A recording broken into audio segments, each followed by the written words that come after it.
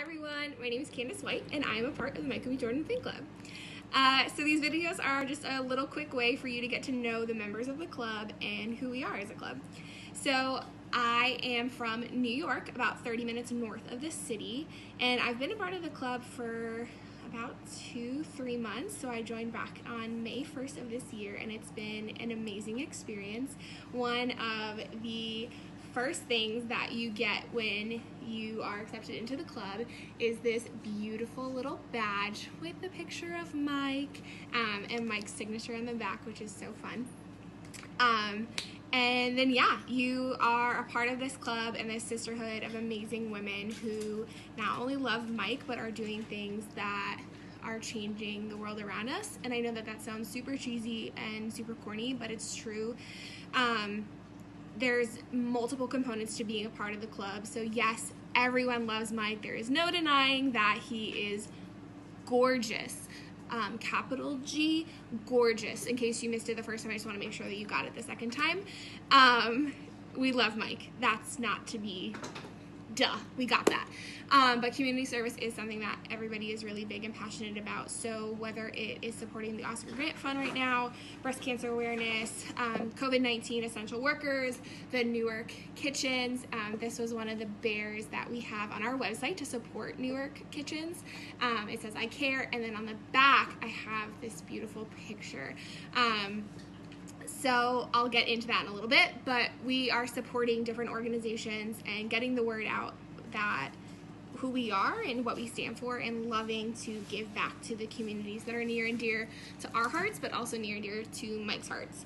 So back in December of 2019, I did get a chance to meet Mike. This is my picture.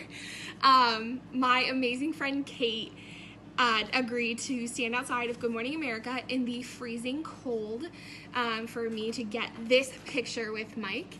Um, it was an amazing experience. I was frozen. I was there from 4.30 in the morning until about 9 in the morning just to snap this pic, but Mike did not disappoint. He was super kind and sweet. He took our picture. He made sure that the crazy fans behind us didn't crush us. Um, it was really fast, but it was really amazing. and It was an amazing way to end 2019 and still gets me happy even in this crazy 2020.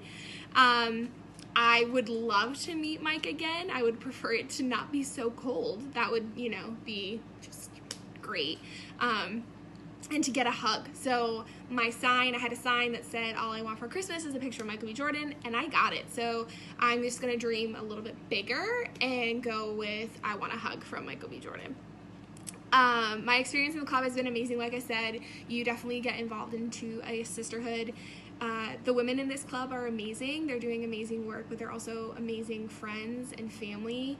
Uh, we know little bits about each other, and we know lots about each other, and we pray for each other, and we care for each other, and that's something that makes us so much more special than just loving on Mike. So it's not just this fangirl; it's truly a family that wants to, to help and to support one another.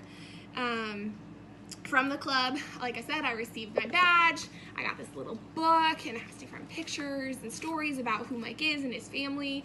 Um, but for the most part, I buy so much stuff. So Hope, which is who, sorry, who is the president of our club, she designs all these beautiful clothes, which is one of the things I'm wearing. It's a little crop hoodie that says Michael B. Jordan is bae obviously he is bae um, to so many of you, but obviously he's bae to me first. Um, just kidding, I am super sassy, but yeah.